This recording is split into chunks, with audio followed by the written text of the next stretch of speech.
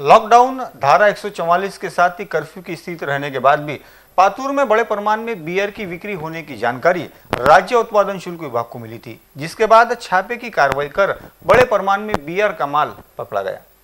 Corona virus के संक्रमण के कारण पूरे देश में लॉकडाउन किया गया है, जिसमें भी बड़े प्रमाण में शराब की बिक्री हो रही है। पातूर शहर में लॉकडाउन धारा 144 के साथ ही कर्फ्यू की स्थिति है ऐसी स्थिति में पातूर शहर में बड़े प्रमाण में बियर की बिक्री होने की जानकारी राज्य उत्पादन शुल्क विभाग को मिली थी। इसके बाद राज्य उत्पादन शुल्क विभाग के अधीक्षक स्नेहा सराब के मार्गदर्शन में राज्य उत्पादन शुल्क विभाग के पुलिस उप निरीक्षक पुरुषोत्तम वोडारे के पथक ने पातूर वाशिम महामार्ग पर स्थित मनप्रीत बियर शॉपी से लगकर बलजिंदर सिंह, दीदार सिंह के घर पर छापा मारकर बियर की 204 बोतलें जब्त की। बियर की इन बोतलों का मूल्य तैतीस हज़ार छह सौ साठ रुपए है। यह कार्रवाई पुलिस निरीक्षक डी के क्षीरसागर, उप निरीक्षक दिवाकर वाघ, नीलेश घाटे, अमर इंगले, संतोष देवले, अर्जुन धुतोंडे केशव चचानी, मनीष घुगे, संगीता इंगले आदि ने की।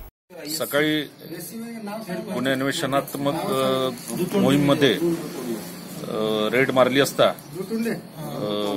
बग्गा यांच्या घरी सतरा पेटी बियर मिळून आल्या. तेहतीस हजार तीनशे साठ रुपयाचा एकूण मुद्देमाल आहे. यामध्ये एक आरोपी आहे. त्याबरोबरच एक मनप्रीत बियर शॉपी आहे. त्या बियर शॉपीची या आता सर्च घेणार आहे. या अगोदर सुद्धा आमच्या विभागाने मागील दोन दिवसामध्ये सातत्यानं या बग्गाच्या ढाब्यावर केस केलेल्या आहे. आणि याचा तपास सुरू आहे.